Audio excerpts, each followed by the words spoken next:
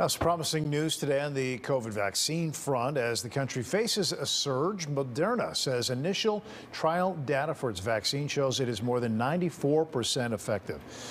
A total of 30,000 people are taking part in a study across the United States. And looking at data from the trial, there were 95 infections of coronavirus, but only five of the cases were in those who received the experimental vaccine.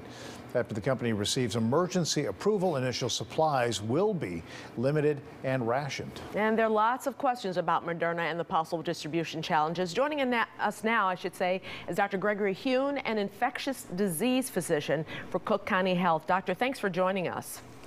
Thank you for the welcome. Well, we've learned about Pfizer and now Moderna. What are the differences between the two vaccines? We know that one has to be kept really cold.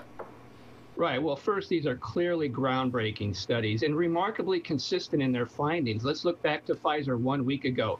Over 44,000 volunteers, half of them got the vaccine, half of them got placebo. And again, consistent with over 90% effectiveness in the patients that received the vaccine. Now let's move to Moderna, just announced uh, today. 30,000 participants, and as you said in the lead up, 94.5%. The difference here is uh, several, actually. One, the dosing is different. It's every three, it's actually two doses, three weeks apart for Pfizer, and then two doses four weeks apart for Moderna. But critically, as you mentioned, the storage is, is uh, quite different. So for Pfizer, needs deep cold storage, minus 75 Celsius and that's in transportation and in storage. It can be transferred to a regular freezer, but only for about 24 hours, and then out of the freezer would be stable for about two hours before it gets a shot in the arm. For Moderna, that's different, minus 20.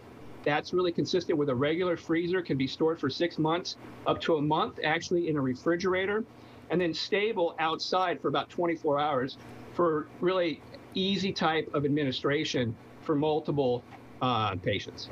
So, given that, are you hopeful? Do you expect that Moderna then will be uh, the, the, the vaccine of choice here? And are you surprised by uh, the efficacy when a lot of, uh, of experts had been hoping for just 50%, and here we are at almost 95%? So I agree. When you take a look at, let's say, measles, a very effective vaccine, respiratory virus, we have about 95% effectiveness for measles. And this is right up there. I think it really exceeded expectations. And correctly, the goal was at least 50% for effectiveness, safe as well. We need at least two months after the second dose in 50% of these volunteers to know that it's safe. And so far, we really haven't found any severe safety signals.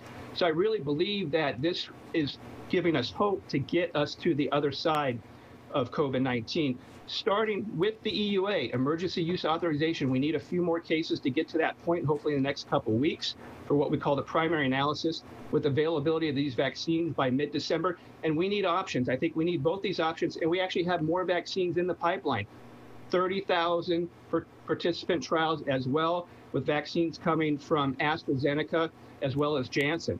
So the more options, the better, because we really need billions of mm. doses in order to cover not only here, but also worldwide. Right. Who should get it first, and will both at this point be just as effective? Well, we hope that both will be just as effective. Hopefully, the consistency and those remarkably high effective rates will actually roll out as we get to what we call, let's say you mentioned 95 cases. We need about 160 cases to make that a definitive answer for if it's going to be effective. We believe it will be. And so the first ones to actually get the vaccines, and this will be the top risk patients, the high risk patients, 65 and older, those with comorbid conditions. But perhaps first in line maybe would be the healthcare workers. We need to keep the healthcare workers healthy. They're in high risk positions for transmission. So that's where we would actually tier the strategies for rollout first in those populations. Then as we move into January, February, March, then we catch up with the rest of the population. In the last few seconds, can you talk a little bit about the, the therapeutics and the medicines that you're using to treat uh, patients? What do you find to be the most effective, and what is uh, what sort of encouragement are you taking on on those treatments? Well, on the inpatient side, we have remdesivir. That's full approval for FDA. That happened last month. And those are for patients that have pneumonia, require oxygen, and then those patients most severely ill, maybe in the ICU, maybe on a mechanical ventilator. They can get steroids, and that actually has a mortality benefit. On the outpatient side, occur, uh, encouraging news from monoclonal antibody. That was approved last week by EUA. That rollout's going to happen here in Chicago this week. And that's for patients, outpatients, ambulatory, mild to moderate disease, not quite sick, but at high risk actually for complications.